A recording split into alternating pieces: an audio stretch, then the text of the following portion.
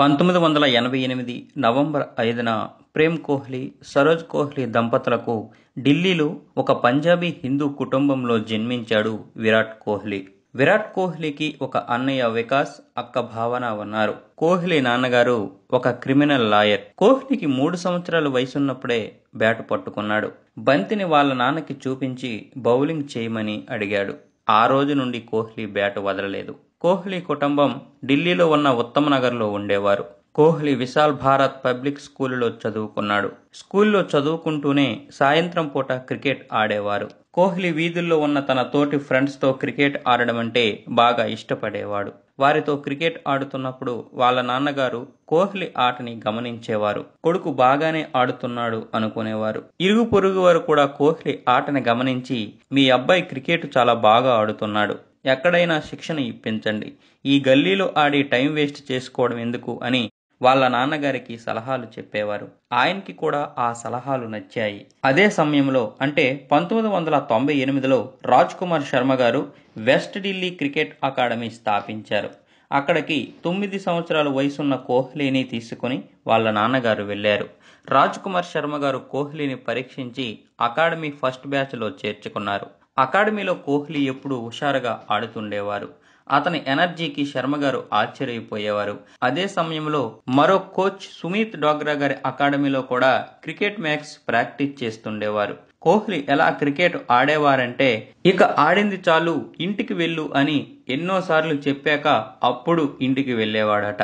అలా ప్రతిసారి జరిగేది. కోహ్లీ తన యాటిట్యూడ్తో అందరినీ ఆకట్టుకునేవారు.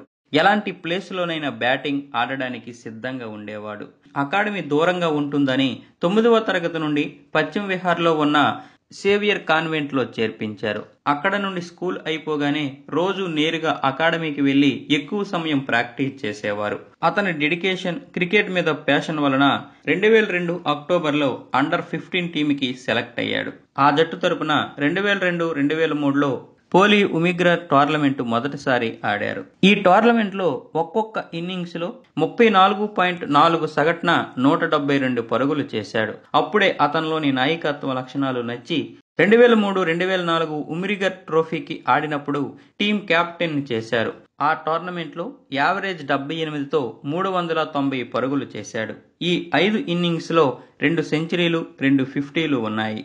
రెండు వేల మూడు రెండు వేల నాలుగు చివరిలో విజయ్ మర్చెంట్ ట్రోఫీ కోసం ఢిల్లీ అండర్ సెవెంటీన్ టీంకి మళ్ళీ ఎంపికయ్యాడు. ఈ టోర్నమెంట్లో నాలుగు మ్యాచెస్ ఆడాడు. అందులో రెండు సెంచరీలు ఒక రెండు వందల యాభై ఒక్క హై స్కోరు చేసి మొత్తం నాలుగు వందల డెబ్బై పరుగులు సాధించాడు. దాంతో under seventeen team Vijay Merchant ట్రోఫీని గెలుచుకుంది. మళ్ళీ రెండు వేల నాలుగు రెండు వేల ఐదులో విజయ్ మర్చెంట్ ట్రోఫీ టోర్నమెంట్ ఆడాడు. ఇందులో మొత్తం ఏడు ఇన్నింగ్స్కి రెండు సెంచరీలతో ఏడు వందల యాభై ఏడు పరుగులు సాధించాడు. ఇవన్నీ చూసి రెండు వేల ఆరు ఫిబ్రవరిలో మొదటిసారి ఢిల్లీ తరపున లిస్టులో చేర్చారు. కానీ ఆ మ్యాచ్లో సర్వీస్ చేయలేకపోయాడు. రెండు వేల ఆరు జూలైలో ఇంగ్లాండ్ టూర్లో అండర్ నైన్టీన్ జట్టుకి కోహ్లీని ఎంపిక చేశారు. అండర్ నైన్టీన్ తరపున మూడు మ్యాచ్లు ఆడి నూట ఐదు యావరేజ్ స్కోర్ చేశాడు. అప్పటి వరకు ఇంగ్లాండ్ పిచ్ల మీద మన వాళ్ళు ఆడడానికి చాలా ఇబ్బందులు పడేవారు. కానీ కోహ్లీ మాత్రం సొంత గడ్డ మీద ఆడినట్లే ఆడాడు. దాంతో భారత్ అండర్ నైన్టీన్ జట్టులు విజయం సాధించింది. అలాగే అండర్ నైన్టీన్ తరపున మూడు టెస్ట్ మ్యాచ్లు ఆడి నలభై తొమ్మిది స్కోర్ చేసి జట్టుని విజయ తీరాలకు చేర్చడంలో కీలక పాత్ర పోషించాడు. ఆ టోర్నమెంట్లో అండర్ నైన్టీన్ జట్టు రెండు సిరీస్లలో విజయం సాధించింది. కోహ్లీ ఆట తీరికి under nineteen coach Lal Chand Rajput బాగా ఇంప్రెస్ అయ్యాడు. ఆ సమయంలో కోచ్ మాట్లాడుతూ కోహ్లీ చాలా స్ట్రాంగ్ టెక్నికల్ స్కిల్తో ఆడుతున్నాడు. ఇతను భవిష్యత్తులో మంచి క్రికెటర్ అవుతాడు అని అప్పుడే పొగిడాడు. రెండు వేల ఆరు సెప్టెంబర్లో పాకిస్తాన్ టూర్లో అండర్ నైన్టీన్ తరపున సెలెక్ట్ అయ్యాడు. అప్పుడు యాభై ఎనిమిది యావరేజ్తో టెస్ట్ సిరీస్ ఆడాడు. అలాగే నలభై ఒకటి పాయింట్ అరవై ఆరు యావరేజ్తో వన్డే మ్యాచెస్ ఆడారు. అదే సమయంలో ఒక పక్క తన తండ్రి చేసిన వ్యాపారాలు నష్టాల పాలవ్వడం అద్దె ఇంట్లోకి మారడం ఆర్థిక పరిస్థితి పూర్తిగా దిగజారిపోవడం జరిగింది. అయినా కూడా కోహ్లీ ఆ బాధలన్నీ ఇంటి దగ్గరే మర్చిపోయేవాడు. గ్రౌండ్కి వస్తే బ్యాట తప్ప మరేమీ గుర్తుకు వచ్చేది కాదు. రెండు వేల ఆరు నవంబర్లో ఫస్ట్ క్లాస్ మ్యాచ్లో మొదటిసారి సెలెక్ట్ అయ్యాడు. అప్పుడు తమిళనాడుపై ఆడారు. ఆ ఇన్నింగ్స్లో పది పరుగులు మాత్రమే చేశాడు. రెండు వేల ఆరు డిసెంబర్ పదిహేడు రంజీ ట్రోఫీలో ఢిల్లీకి కర్ణాటకకు మధ్య మ్యాచ్ జరుగుతుంది. ఢిల్లీ దాదాపు ఓడిపోయే పరిస్థితిలో ఉంది. అప్పుడు కోహ్లీ రంగంలోకి దిగాడు. ఆ రోజు ఆట ముగిసింది. ఆ తరువాత రోజు ఉదయం మూడు గంటలకు తండ్రి మరణించాడనే గుండె పగిలే వార్త తెలిసింది. కానీ తను బ్యాటింగ్ చేయకుండా వెళ్ళిపోతే ఢిల్లీ ఓడిపోతుంది. తనని అల్లారు ముద్దుగా పెంచిన తండ్రి మరణం మరోపక్క బాధించింది. ఈ బాధలన్నీ పద్దెనిమిదేళ్ళ కోహ్లీ ఏమి చెయ్యాలో అర్థం కాక అలాగే ఉండిపోయాడు. తండ్రికి ఘనమైన నివాళి ఇవ్వాలనుకున్నాడు. బ్యాట్ పట్టుకొని గ్రౌండ్లోకే దిగాడు. అతనికి ఒకటే గుర్తుంది. తన తండ్రి ఆత్మ శాంతించడానికి ఢిల్లీ గెలవాలి. తన సంకల్పం నిజమైంది. ఆ మ్యాచ్లో తొంభై పరుగులు చేసి ఢిల్లీ విజయానికి తొలిమెట్టు అయ్యాడు. తండ్రి అంత్యక్రియలకు వెళ్ళి ఘనమైన నివాళి ఇచ్చాడు. ఈ ఒక్క సంఘటన చాలు. కోహ్లీ మనోధైర్యానికి పట్టుదలకు అద్దం పడుతుంది. ఈ ఒక్క సంఘటన చాలు. యూత్ తలుచుకుంటే ఎలాంటి క్లిష్ట పరిస్థితుల్లోనైనా సరే ఏమైనా చేయొచ్చు అని నిరూపించుకోవడానికి ఈ ఒక్క సంఘటన చాలు. కోహ్లీని అభినందించడానికి అభిమానించడానికి. మరుసటి రోజు బాధపడుతూ ఒక బెంచ్ మీద కూర్చున్నాడు. కానీ అలా కూర్చుంటే తన తండ్రి క్షమిస్తాడా? అలాంటివి తన తండ్రికి నచ్చదు అనుకున్నాడు. భగవంతుడిచ్చే ప్రతి నిమిషాన్ని మనం కర్తవ్యానికి వినియోగించాలి కానీ ఇలా బాధపడుతూ ఉండకూడదు అనుకున్నాడు. తన తండ్రి ఎప్పుడూ తనని ఒక గొప్ప క్రికెటర్గా అవ్వాలనుకునేవారు. అందుకు తను ప్రయత్నం చేయాలి అని తన మనసులోనే తను అనుకొని ఆ సీజన్లో మొత్తం ఆరు మ్యాచ్లు ఆడి రెండు వందల యాభై ఏడు పరుగులు చేశారు. రెండు వేల ఏడు ఏప్రిల్లో మొదటిసారి ట్వంటీ ట్వంటీలో ఆడారు. ముప్పై ఐదు పాయింట్ ఎనభై యావరేజ్తో నూట డెబ్బై తొమ్మిది పరుగులు చేశాడు.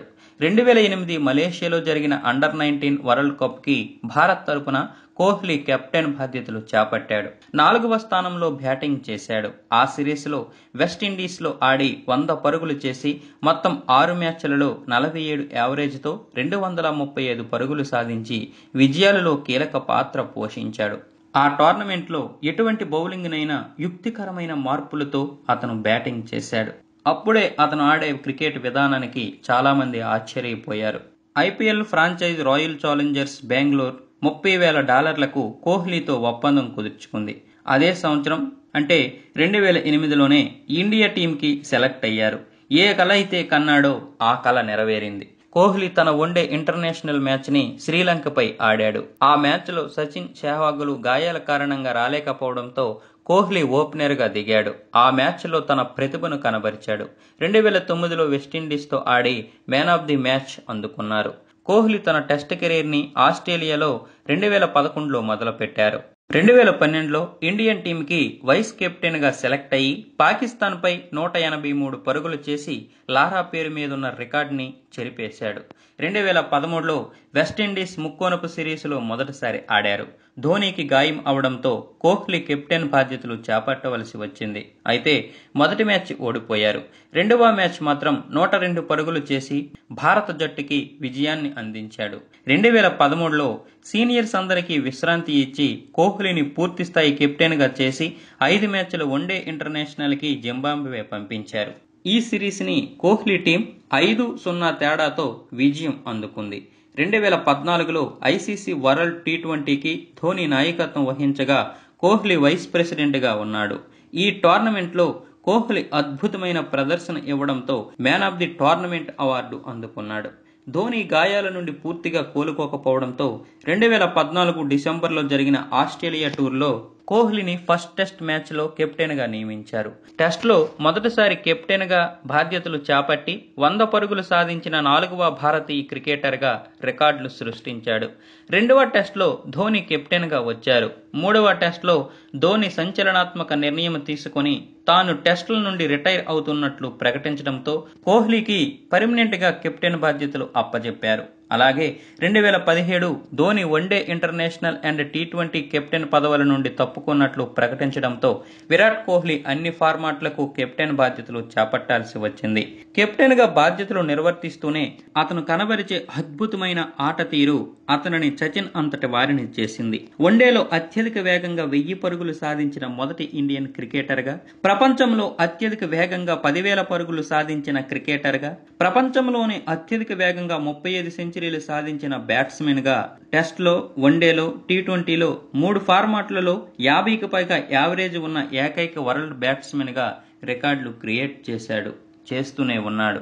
క్రికెట్లో అతను చూపించిన ప్రతిభకు భారత్ ప్రభుత్వం రెండు వేల పదమూడులో అర్జున్ అవార్డు రెండు వేల పదిహేడులో పద్మశ్రీ అవార్డు రెండు వేల పద్దెనిమిదిలో రాజీవ్ గాంధీ ఖేల్ రత్నతో పాటు sir Garfield Sobers trophy ICC ODI players of the year మూడు ICC test players of the year ఒకటి ICC ODI team of the year ఆరు ICC spirit of cricket two thousand nineteen ఒకటి Polly Umrigar award for international cricket of the year ఐదు Wisden leading cricketer in the world award మూడు CEAT international cricketer of the year మూడు Barmy Army for international player of the year వంటి ఎన్నో అవార్డులు ఎన్నో రివార్డులు అందుకున్నాడు. విరాట్ కోహ్లీ సినీ నటి అనుష్క శర్మను చాలా కాలంగా ప్రేమించి రెండు వేల పదిహేడులో ఇటలీలో వివాహం చేసుకున్నారు. ఫ్రెండ్స్ ఈ వీడియో గనక మీకు నచ్చినట్లయితే లైక్ చేయండి షేర్ చేయండి కామెంట్ చేయండి. సబ్స్క్రైబ్ చేసుకోవడం మాత్రం మర్చిపోకండి. Thank you. జై జవాన్ జై కిసాన్ జై భారత్ జై Hind. Hi, this is Roja. For more interesting updates, please subscribe Country Thoughts. Hi నేను మీ వేణు. మీ అభిమాన హీరోల బయోగ్రఫీ కోసం please subscribe country thoughts hi friends నేను మీ రచరవి. ఫ్రెండ్స్ మీకు ఇంట్రెస్టింగ్ వీడియోస్ కోసం please subscribe country thoughts hi అండి నేను మీ fun bucket Bharath please subscribe to country thoughts hi friends నేను మీ దేవేనాని. Please subscribe country thoughts Please subscribe and share Country Thoughts. Hi అందరికీ నమస్కారం. నేను మీ Madhupriya. Please subscribe to country thoughts YouTube channel hi అండి నేను మీ fun bucket Bhargav please subscribe to country thoughts for more interesting updates కింద గంట కొట్టియండి.